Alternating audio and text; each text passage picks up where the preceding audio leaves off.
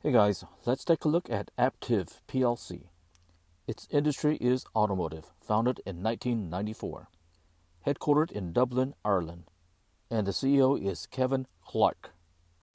Its ticker is the letter APTV. Current share $104. Market cap 28.2 billion. And here's the historical stock price. Enjoy learning about stocks just like me? Hit the follow button and we can all learn together.